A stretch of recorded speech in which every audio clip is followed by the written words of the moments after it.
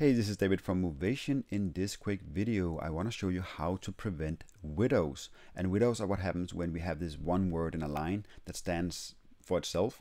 And we don't want that because it doesn't look so good presentation wise. We want uh, a more balanced look. So we want to move some of this text down to the second line, right? And we can do that by introducing a non-breaking space. And that's something you can do in all WordPress themes. So now we go inside these two words that we want to connect.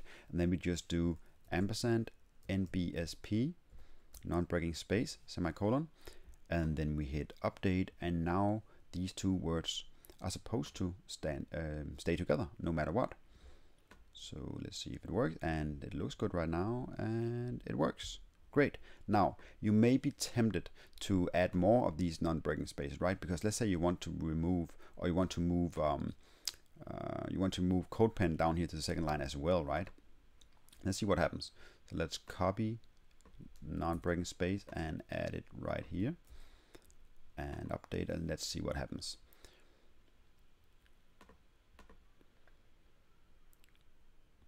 So it looks great right now, right? But let's click on inspect and let's just make this window a little bit smaller and look at what happens and it starts to break. So obviously this is only a, a, problem if you don't look out for this because if you make the text small enough according to the device then it's not really a problem right? But it, if, if, if you don't look out for this and depending on how, how many words and you have presented in your titles and how big the text is this can really break your layout right? So you need to keep this in mind.